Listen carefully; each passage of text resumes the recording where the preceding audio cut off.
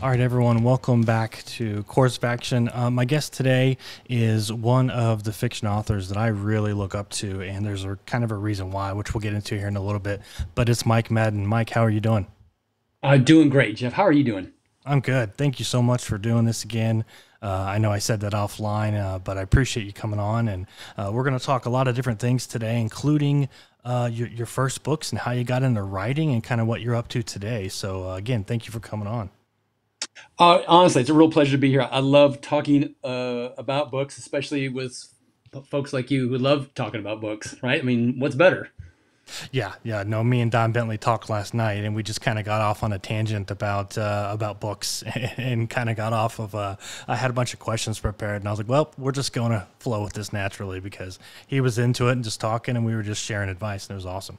Oh, that is awesome. You know, I have never met Don Bentley. He uh, came in after me on uh, the um, Tom Clancy uh, series, the Jack Ryan Jr. series.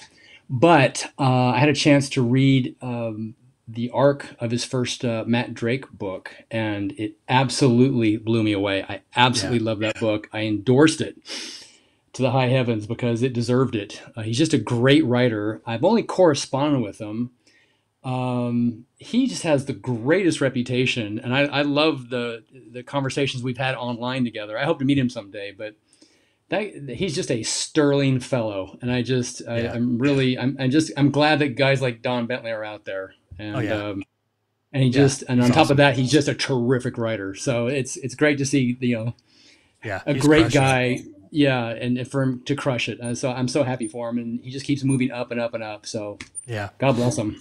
I was at Thriller Fest this year when uh, Brad Thor and Mark Greaney admitted that they had never met each other. Yeah, you had mentioned that on your. I watched your uh, Brad Thor podcast. Yeah, absolutely.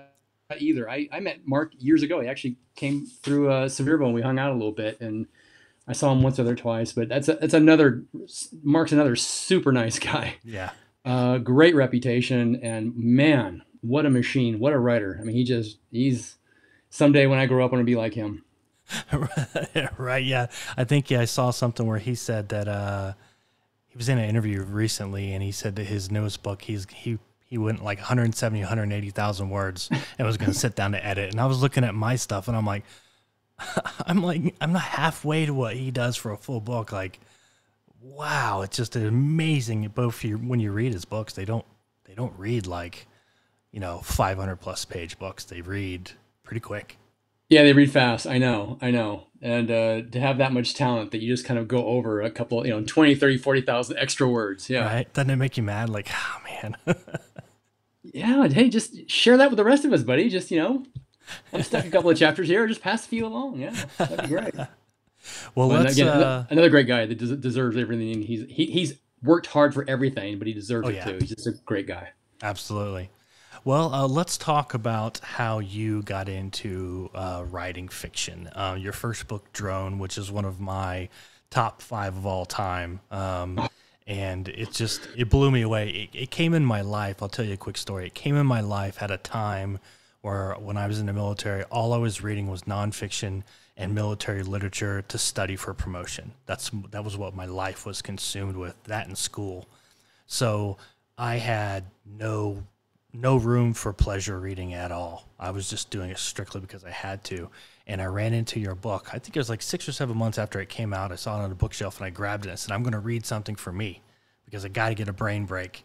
And Drone just blew me away. And I really, it's one of those books that to this day, still reminds me like to never quit when I'm writing fiction and I'm like, ah, this sucks. I, I just I think back at like the influence that drone had over me. And mm. I'm hmm. not saying that to suck up or anything. I'm saying it because no. it seriously hit me like that. That uh, it was that good. So I really want to know like how did you get into writing and come up with that in the, like the first place? Oh, that's yeah. What a great question. I uh, well, you just remind me of some. Just it's so. It, writing is always hard. I, I, know it looks like. I mean, I'm starting. I guess what book number twelve or something right now, and I, I, I look at the books on my shelf that I have written, and I, I still don't believe it. I have to pinch myself. Number one, I am. I, I am living proof that God has a sense of humor. Uh, of all the people in the world that shouldn't be doing this, it shouldn't be me, right? Uh, but the fact I look at those, I was like, how did I ever do that? And I remember years ago, I read um, uh, something you know by Hemingway where he said every time I start a new book, I have to learn how to write all over again. And this is before I ever wrote anything. I said, well, that's just stupid. How can you not know how to write a book? You know, you're, you're Hemingway, you write all these books. But boy, every time I start a new book, I'm like, how did I do that? you know, it's really you, you have to. It, it's you know the, the Stoics uh, love uh, Sisyphus, right? The the Greeks generally see him as a, as a tragic figure who's you know cursed to always roll stone you know to top top of the hill and it comes back down. Mm-hmm. But uh, the, the Stoic philosophers actually saw him as a as a as a moral hero. You know, the guy who just works and works and works and doesn't matter if it falls back, doesn't matter. It gets up and does it again. And you know, it, it's a Sisyphean task. So the fact that you struggle doing it tells me a lot. Number one, it tells me that you're serious about it because if it was easy, then you're not you're not writing. You're not trying hard enough. Right. Number two, it is a nearly impossible task. I mean, to, to tell a good story is just about a miracle, and to tell a great one, and, and again, Don Bentley, Greaney, all these guys who keep cranking out these great stories year after year. I mean, that's a miracle inside of a miracle. To tell one great story once in your life is miraculous, but do it over and over just tells you how good those guys really are. Mm-hmm. So um, the fact that you struggle, uh, I'm laughing because I, sh- I share your pain, brother. I really do. and but you when you said you know it, the that drone did something for you, it's also a reminder, right? I mean, it, it, it's a responsibility. I mean, it's writing is is a spiritual journey as much as anything. And and you know if this is something you're called to do then you got to do it. And you never know who's going to read your stuff. And the fact that you said that you know this kind of keeps you going with what you're doing reminds me well i better get going on my next one because maybe some other writer needs to be inspired. Just like i need to be inspired right? When my tank runs low i grab a book too to get inspired. So you know it's it's sacred work it, really is small s um, and the fact it's a struggle speaks to you know how profound and how important it is, both in terms of the labor, but also in terms of you know actually you know what it means to put a story like that together. So all that say is sorry for the long-winded answer. Um, drone, I you know my background is in international relations, comparative politics, you know some war studies and technology and you know, way back in the day, uh, you know, that word uh, early in the Gulf War, right? We kept, we kept, in the the war on terror, we kept hearing about drones. And I thought, well, I just wanted, you know, I had an idea generally what they were, but I just started to dig into it. And the more I dug into it, the the more it absolutely just grabbed me by the lapels and shook me up. And uh, and I thought, man, this this really is going to change the game. This is going to change warfare. You know, period, full stop. It's going to change everything. Um, because the drone warfare even early on was really connected also to developments in artificial intelligence and certainly in computational ability and you know the whole range of um, measures for you know all the kinds of sensors radar optical the whole nine yards you know the whole isr spectrum stuff but mm. it's not surprising at all to me that ai is now you know married and hardwired into the whole drone technology thing because that's kind of where they're going early on, even though they weren't really talking about it. And the whole idea of like, you know, self-piloted airplanes, which was was the big conversation. But all that say is, the the technology absolutely fascinated me. But as I have studied history most of my adult life, I began to see the contours of how this thing was going to go. So I thought, boy, what a great you know fictional place to go to. And then, of course, in my arrogance and my insanity, I thought, oh, I'll, I'll just make stuff up about drones. And what I found out after about 30 seconds was anything I could think up had already been done like 30 years before. I mean, yeah. these engineers that cobble these things together, I mean, we think of engineers as, you know, guys with pocket protectors who are just doing math problems. But the great engineers are infinitely creative and artistic. And unlike me, can do math to match that. so they can imagine things and actually build it. That's why I'm in just utter awe of engineers. Um, but they've been doing some crazy things with, with drones for a long, long time. And so what was fun for me on the drone book was I stopped trying to make stuff up and rather said, let me just, you know, take everything that's on the board, uh, you know, on the drawing boards, or I was even able to find some like, you know, patents on Google and stuff. And so what's like, what's the near future stuff? And boy, even as I was doing that, uh, as soon as I'd write the near future stuff, it was already like in the headlines. You know, you, you really can't keep ahead of it. uh, and, and this thing has just been galloping ahead ever since. And that's why, I mean, drone technology is still showing up, you know, in what I'm writing now because it has to. I mean, I'm sure you're following what's going on with the Ukraine and Russian war. Mm-hmm. I mean, Ukrainians are dominating uh, the, the whole, you know, the battle space. Um, the uh, in my uh, not my last, but my first uh, Cussler book, I talk about the you know the Nagorno Karabakh uh, conflict between Georgia and Armenia, which flares up every now and then anyway. And I think historians are going to say when they look back that that'll be the first war won by drones, where the Armenians, excuse me, um, yeah, the Armenians had always dominated um, uh, the other side, and um, for the first time, uh, they lost. They lost badly because uh, Turkish-built drones took them out. The uh, the Azeris um, just didn't have the military discipline or strategy or organization before. But once they got the Turkish drones, they wiped the, the Georgians off the map. And it's like, oh, okay, well that's proof of concept. Now fast forward to this war. Um, you know, we heard about here come the leopards. You know, here come the Bradleys. Here come these, you know, these terrible, you know, modern warfighting machines. Uh, the Russians better watch out, and the, their Lancet drones. You know, these these things that look like something you know is built from a parts kit from a model store, you know, run right. with basically a, a lawnmower engine. Uh, by the way, now they're marrying AI, AI technology to those things. So, you know, these loitering munitions, they, they're sitting up there and they are literally looking on their own. They're not even driven by operators anymore. They are seeking on their own uh, the various weapon systems that are pre-programmed into their brain. So they know what a Leopard looks like. They know what a Bradley looks like. They know what a T55 looks like, and they go out and hunt for them, and they and they go after them.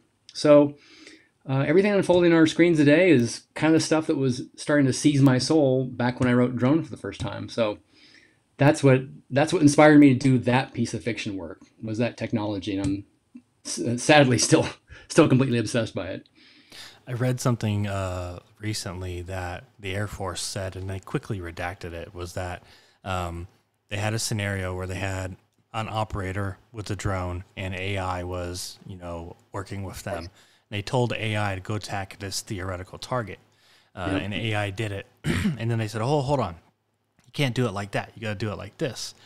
Uh, so then AI learned that the operator is now putting parameters on them getting their mission done. So then it attacked the operator in this scenario. And the operator said, oh, no, you're going to lose points in this game. If you attack me, you can't do that.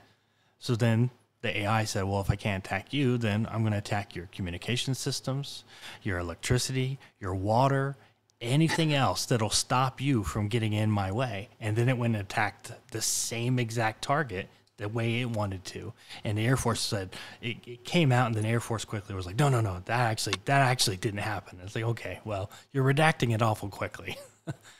Yeah, and I think the Air Force has redacted things like uh, Roswell, where they reported a crash machine, and oh no, the Air Force is pretty good at redacting. They're they're good at that. Um, I know, I, and the the inexorable logic of this kind of warfare. There, there's a movie that came out, a documentary called uh, AlphaGo that came out several years ago. Uh, it was on Netflix when I saw it. I don't know if you've seen it or not. Mm-hmm. If you hmm. haven't, or you're viewers haven't seen it, I highly recommend it. Of course, it's dated now. It's almost like watching, you know, the invention of the Model T. But make a long story short, um, the game of Go is probably the, the oldest organized, you know, game that, that human beings have played. It's, you know, thousands of years old. And they say, I'm, I'm not a Go expert myself, but they say there are more possible moves in a game of Go than there are known particles in the universe. Wow. So we know that you know you can program computers to play chess, and you know computer chess uh, programs beat humans. Well, it's finite, but everyone knew that a computer could never beat a human at Go because they're not creative, they're not conscious, they can't you know do whatever. So the AlphaGo movies about how well, guess what? AlphaGo beat the first human uh, in in Go. And of course, that's where you know it gets a wonderful conversation. It's not that humans programmed the computer to play Go; it's that they programmed the computer to teach itself how to play Go, and it taught itself to play Go by playing itself Go over and over and over and over and over a gazillion times, and got better and better. so that not only did it, did it beat every single human it ever came across after that, it, it, it even beat itself. And so that whole, uh, I think DeepMind was the company that originally developed that. I think Google told me that that whole program has just gone, you know, exponentially further and faster. And um, I think it just it's the system that has just uh, figured out how to um, fold and unfold um, proteins in DNA, which was another like one of those problems that can never be solved, but now it's solving it. So the point is, if a computer can you know play a game of chess or Go and beat any human on the planet, uh, what's a computer going to do on the chessboard of a battlefield, uh, or in the air, or on the you know under the sea? There, there's no way that human beings can compute and make decisions as fast as uh, as a computer. So what would you rather have? You know, 500 uh, American jets with 500, you know, brilliantly trained pilots. Pilots who get sick, who get divorced, who get sad, who uh, get distracted, get afraid, um, have to, you know, have bodily functions, have to eat, yeah. Fill in all the blanks. But you got 500 separate minds in a complex battle space versus 500 uh, uh, airplanes controlled by a single, you know, AlphaGo brain who's going to win that battle? Yeah. I mean, there's no question. There's just no question. And so all across the space, at, every level, tactical to strategic, uh, the you know the fastest, best decisions will win the war. Period. Full stop. And humans can cry and whine and flap their arms and say, "Oh no, no!" And there's you know moral hazard here. Well, guess what? Our enemies don't care about moral hazard. Our, our enemies care about winning. So uh, these these these battlefields are going to be essentially completely drone driven, and the countries that fail to keep up with the drones are going to lose. And again, sadly, we're seeing that play out right now on the battlefield, you know, in the in the Ukraine. Yeah, and I think uh, I saw some videos today of uh, some of the kamikaze kind of drones that uh, Ukraine was trying to fight off, um, and then they were using them, uh, and Russia was finding a way of jamming them, but it was only jamming them so that they would crash. So it was still crashing into some of their own buildings, um, which is just incredibly dangerous. But at the same time, it just tells you how um, kind of distance war has become. Um, because, you know, like you said, we're, we're no longer needing to put people behind the stick of an airplane when we can do certain things from afar. We're kind of taking almost the danger out of it a little bit.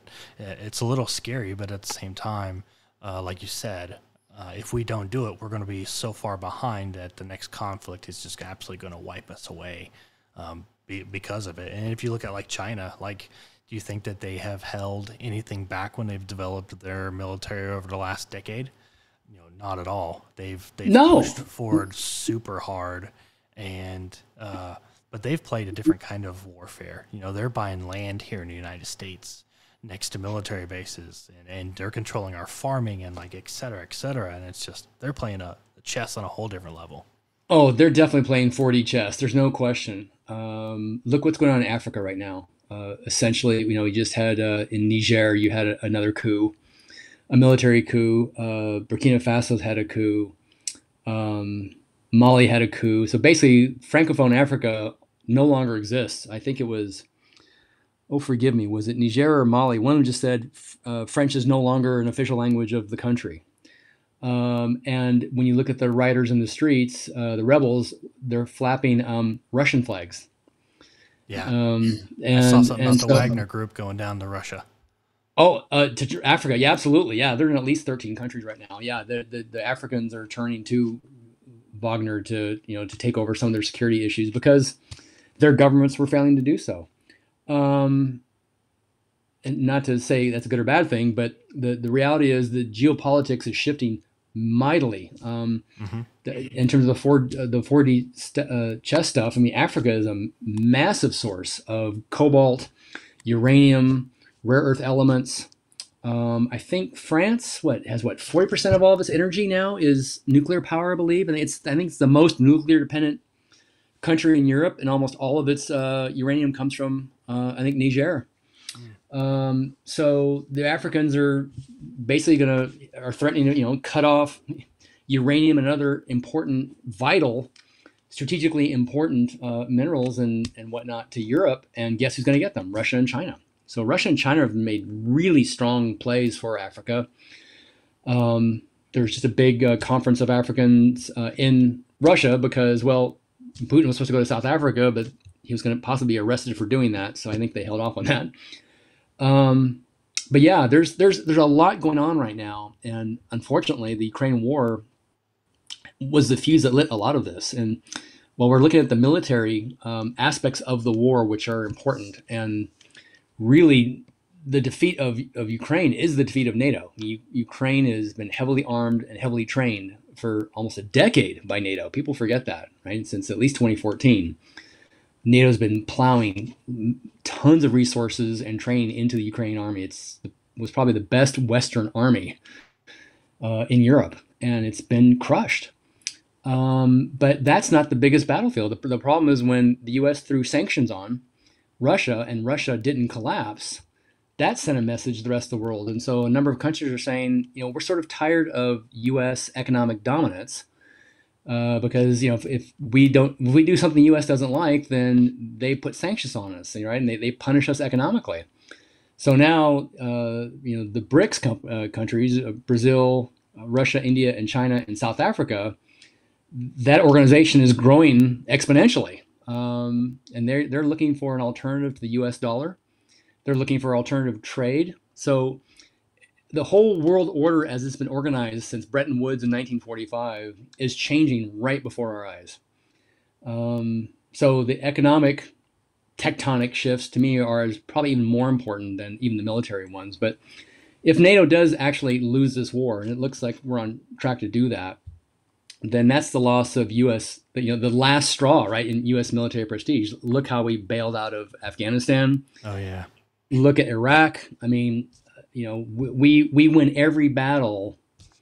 You know, since since Vietnam, we've won every battle and lost every war, and we abandon our allies and our friends in the process. So if we don't have military dominance and we don't have economic dominance, what happens to the world order? Well, we're watching it right now. It's changing rapidly, for good or for ill. It's changing. Yeah, and I think the uh, the rise of China and the investments China has made into their military has really kind of changed the way people viewed the military power throughout the world. Because it used to be, you know, everybody looked at the United States and said, ah, biggest military, biggest air force, biggest navy. They're the guys you don't want to pick on. And now China has kind of kind of stepped up to that bar and said, well, you know, maybe we don't like that anymore. Maybe we want to be number one. And I think that was the biggest threat that we hoped didn't come a reality. And I, but I think it is. It's becoming that reality now. Well, you know, and my question is, how did that happen? Let's see. We decided to bring China into the World Trade Organization, give them most favored nation status, and basically we've been running annual trade deficits in the hundreds of billions of dollars with them for 30 years. So they take all of the uh, surplus trade and they plow it into, well, things like military development, but also high speed trains, artificial intelligence. I mean, all of their development has basically been funded by our trade deficit with them. Plus, as I've detailed in my drone books and some of my uh, Clancy books, um, you'd be surprised how many Chinese military systems have French and German and American and Israeli components. Mm-hmm.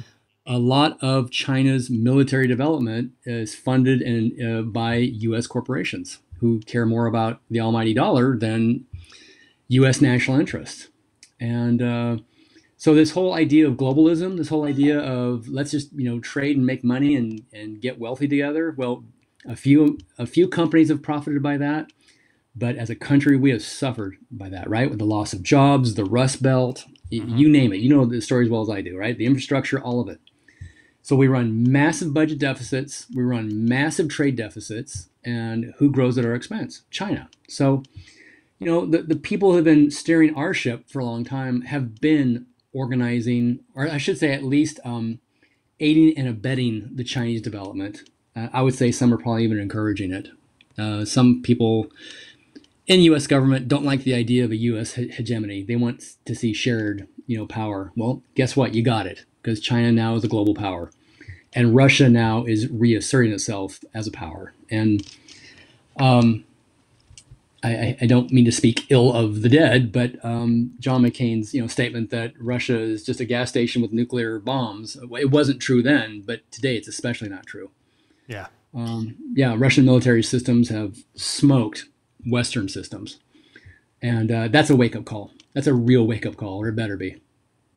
So you mentioned uh, the Clancy books that you wrote. What was it like when you got that phone call and they they were interested in you taking over and and, and offering some Clancy books? Well, there's a long version of that story and a short one. I'll tell the short one.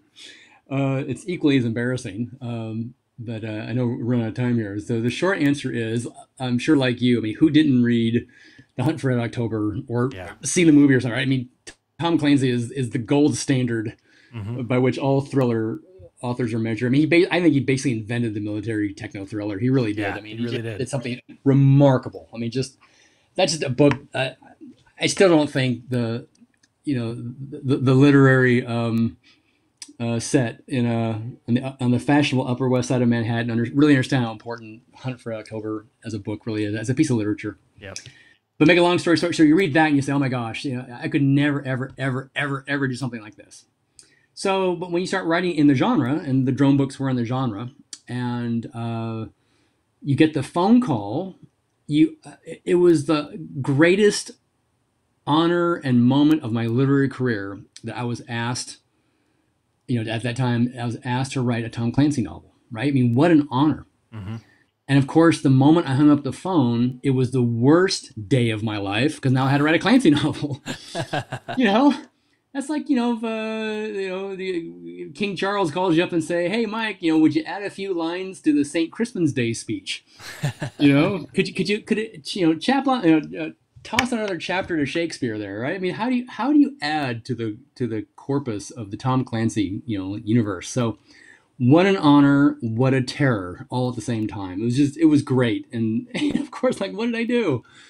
But you do it, right? It's a, yeah. you know, if you, you, you're in it to win it, you, you know, play or go home. So it's like, okay, let's do this. So off we went. So how did uh, jumping into the Clancy verse? Uh, how did it change your writing, or did it change it at all, or did it change your approach? Or uh, I asked Don Bentley this last night. He had an interesting answer, but uh, curious to see how you went from dr- the Drone Brooks uh, and Troy Pearce to Tom Clancy and Jack Ryan. Yeah, you know, it's interesting. The when you come into a franchise, and I've had the privilege now of being in two of them, uh, including now the Clive Cussler Oregon Files franchise, which I dearly love. Um, but in both cases, and I'll start with the Clancy one the great thing about writing for a franchise is you've got these established characters, right? They're just iconic. It's like a John Clark, who's everybody's favorite. Yep. And I, I just, I begged the estate, please let me start a John Clark series. I think that'd be so awesome. And I'd start, oh, yeah. I'd start in Vietnam and go forward. I, I'd do retro, um, with you know, quarters in his pocket, or actually nickels in his pocket, and uh, you know, uh, and an old uh, Browning 45 on his hip, right? And it's not, oh. you know, forget oh. cell phones and forget, you know, honey old badgers. Like, just do old school, man. Just do old school. Um, but anyway, uh, they're great characters, and so basically, it's like they hand you the keys to like FAO Schwarz, right? Like, here's the greatest toy store in the world.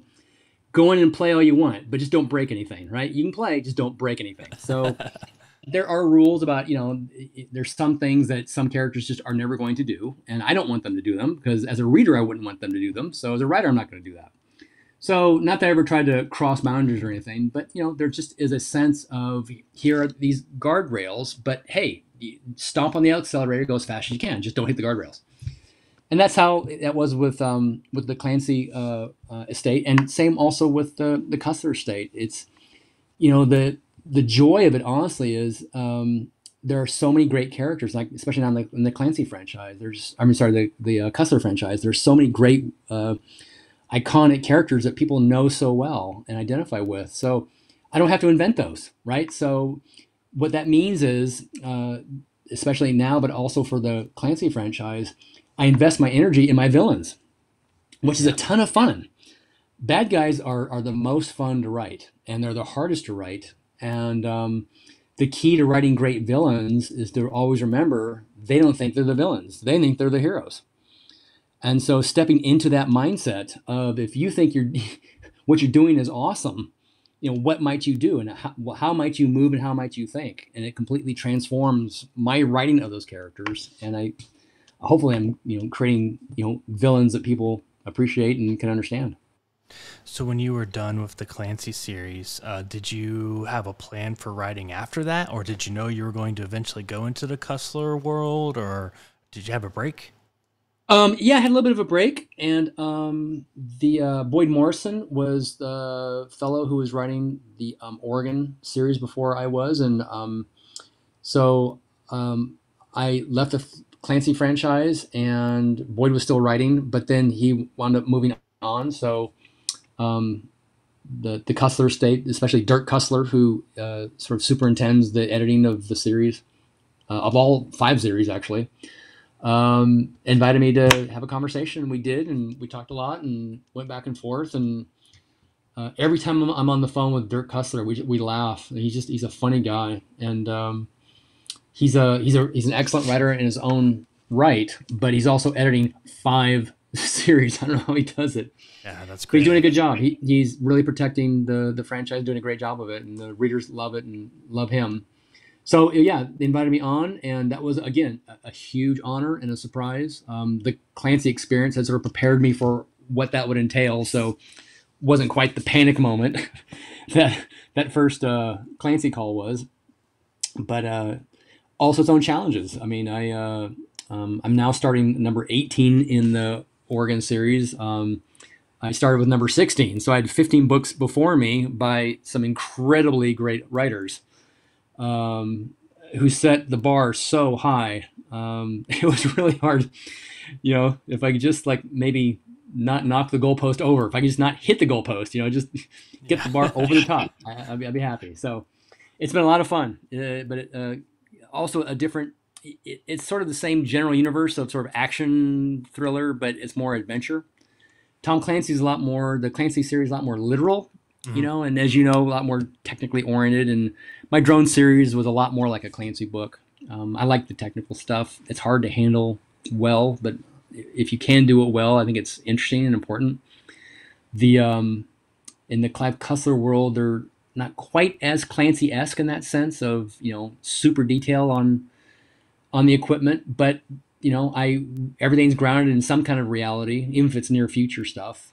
Um, but there's a, a, bigger adventure element to the Cussler world, which is for me new and a lot of fun, and you know, an even greater challenge than the technical stuff.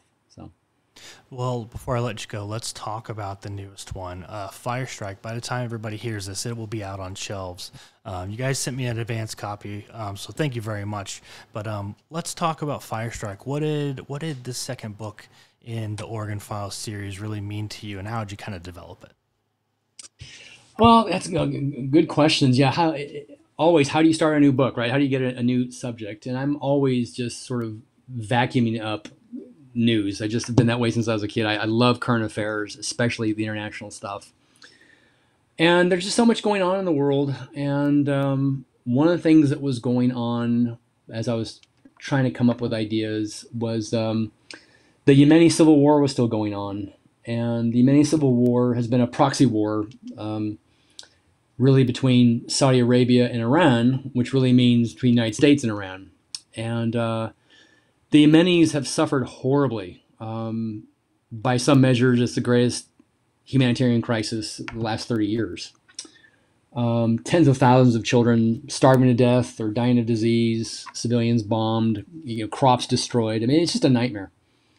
And so I wanted to find a fictional story that could sort of wrap around, you know, that concept of what's going on there, but also then explore what's going on with Iran, what's going on with Saudi Arabia, and the politics of Saudi Arabia. Um, so that's so it was a, and everything I do is always rooted in reality at some level, and I try to get as close to reality as I can, even though I'm writing fiction. I try to tell. I, I always try to tell the truth in my fiction, no matter what, and right. I try to give as much reality as I can uh, just to you know to undergird you know the fictional parts I get to play with. So it was really trying to bring attention to that. And in every book, I try to bring attention to things I think that readers might be interested in or maybe not aware of. Um, you know, it's it's why I write. Um, I love I love to entertain. Um, I, you know, that's what I do. That's my profession. Um, I, I, love what Brad Thor said in your interview, and I agree with him completely. I mean, when someone lays down their hard-earned cash on the barrelhead to buy one of my books, and more importantly, to spend time, precious time, when they can be doing something else, um, I want to earn it. Yeah. And in fact, I want to more than earn it. I want them to really get more value for their money than what they paid for it. So putting as much in there as I can that's you know that also teaches them something and, and helps them see the world in a way that maybe they haven't seen before and raise issues that you know I think they should think about, along with the fact that I just want them to have a really good time reading my books. So yeah, so that was really one of the issues, and then you know this whole issue of hypersonic missiles. Um, people just haven't been talking about those and um, they've been I actually my mm-hmm, third drone book. I raised the issue of hypersonic missiles. But again, at that time, they're on the drawing boards. No one really had a successful one at that point. Well, um, really, no one had a successful one in quotes until now in the Ukraine war. Um, in fact, when I wrote Fire Strike, there still hadn't really been an operational hypersonic missile, but um, the Russian ones I thought might be the best ones, and the Indians actually had a contract, have a contract uh, to to to build basically Russian hypersonics. So I thought, okay, there's a there's a place to look at. And lo and behold, after I start the story, the war kicks off, and hey, yeah, these hypersonics actually do what they say they're going to do. So technology and current events, um, which are real, seized me, and so I forged that into a fictional story that I hope readers will appreciate and enjoy. Oh, no doubt, no doubt they will. Um, what is your biggest piece of writing advice to uh, authors who are trying to kind of make it in the industry right now? Boy, that's a great question. That's a, just a, a, a, great question. I mean, there's a whole writer strike right now uh, that's just married to, of course, now the actors joining them in Hollywood over this whole issue. The industry is changing all the time. And uh, I would say if you're a writer and you know you're a writer, then you've got one job, and that is to write. And uh, guy named Karl Iglesias, who writes one of the few books I ever recommend on writing. It's called Writing for Emotional Impact. But I actually heard him years ago in a seminar. And he said, you know, you have to learn how to write, but no one can teach you. And that's mm-hmm. absolutely true. There's the there, you can't read enough books that will make you a writer. You only learn to write by writing. And you know, the, the answer to all of your questions is right. you know, how do you get better? Right. How do I solve this problem? Write it out. Um, if there's a second piece of advice I would have is um, also from Karl Iglesias, is you know, are you curious enough? Um, most writers, especially ones who are starting out, uh, don't write because at the end of the day, if you're a writer, first of all, you're a reader. You love books. You love great books, right? You read Hunt for October. You say, I can never do that, and you're right. You can't. you know, and yeah, and you know, I, I could never write like Tom Clancy, and I'm so grateful. I wouldn't have taken the gig if Tom Colgan, the series editor, said, "I need you to write like Tom Clancy," because you can't do it, right? He's an original. Yeah, no. But I can write like me. You know, I, I can write in my own voice. So knowing who you are and knowing your own voice and staying true to your own voice is what you have to do. But that that reader in you says, "But I know what great writing looks like, and I can't do that." Well, maybe you can, maybe you can't. But if you don't try, we'll never know. Okay, but now you start trying okay, this first page isn't the worst thing I ever read, but now I'm on page two and I'm stuck. Oh my gosh, I'm, I'm scared. I, I, I am not sure what to do. And so I get, I get a cup of coffee. I'll vacuum the, the house. I'll wash the dog. I'll wash the car. I'll wash the dog again. I'll do anything but write. And so sloth is a besetting sin of writers, old ones and new ones. Um, but what happens is we're just afraid. We're afraid that we don't know how to move forward. And we don't know how to move forward because we don't know how to solve this problem. So we let the fact that we don't know scare us. And anxiety is a natural human response, right? It's a it's a fear response when things are going to destroy us. Bears charging us, um, which might physically kill us, or this idea that maybe I'm not a writer, and if I write, if I can't solve this problem, I'll fail, and all my the world will think I'm not a writer, and so I, will be sad. so I just don't write you know that's that's the wrong you know we don't want to curl up no we stand up we sharpen the spear and we say okay let's ask some questions what don't i know what what is this plot problem what what is the thing i can't figure out here what's bugging me oh i don't know how the how my hero gets from you know, the train station to the hotel. I, I don't. Okay, well, why not? What what has to happen? Well, he has to leave the train station. Well, why can't he leave the train station? Right. So in other words, asking questions. Just the, the human mind loves questions. We're naturally curious. We're wired for curiosity. So set the fear aside and just start asking questions. Ask every question you can about the problem that's in front of you, and you'll be surprised how the answers start to come. You know, it's just one question at a time. One question at a time and then you'll get out of the train station you'll get out in the street you'll get from the street you'll get to the sidewalk from the sidewalk and now you're in the hotel great. Now you have a whole new set of problems. That just means a whole new set of questions. So you only learn to write by writing and if you ever have a problem just ask yourself am i curious enough? Am i curious enough? And just ask questions i promise you'll find the answer.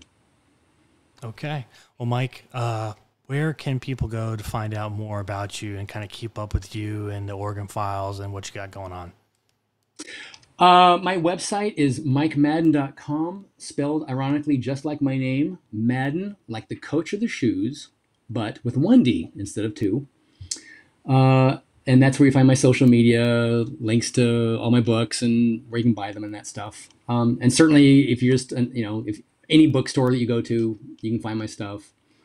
Um, my email is also on there. You know, please, I, I, love corresponding with with readers, so please reach out if you want to.